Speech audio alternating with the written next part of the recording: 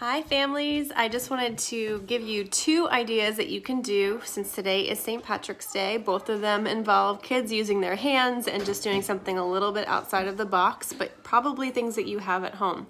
Um, if you don't have Lucky Charms, that's okay. You can use any kind of cereal. Cheerios would work fine, um, but this is something that I do, um, I did today and they loved it. So I have a bowl of the uh, Lucky Charms marshmallows.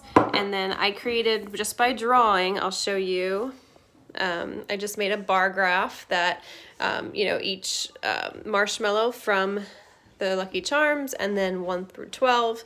And then the kids just simply took a marshmallow and put it um, where it belongs. And they just did that until all the marshmallows were done. And they were able to, my five-year-old was able to talk about it and say which one had the most, which one had the least. My 11-year-old was able to use a little bit more um, sophisticated language and was able to write the results down on a different paper um, and then draw an actual bar graph because this is more like a pictograph, but then he made a bar graph out of it. And so you can extend it in many different ways. And so you just do that until all of them are gone and then, then you can talk about it.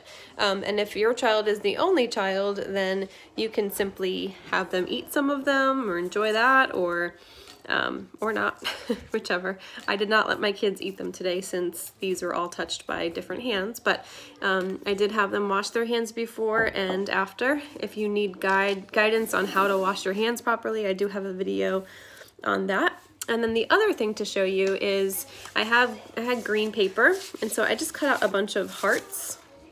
And so um, to make a clover, you can, let me get you the, the other way. So you can just take three hearts and put them together like this.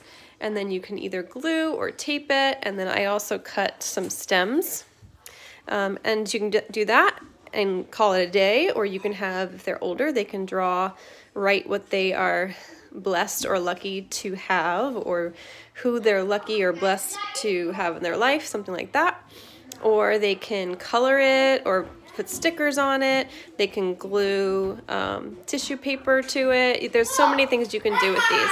So um, as you can hear in the back, we are entertaining kids as well. But just wanted to show you these few things that you can do at home and it's super easy. You don't have to be super creative in order to, um, to make these. So good luck and we'll keep posting more videos as they come. Thanks.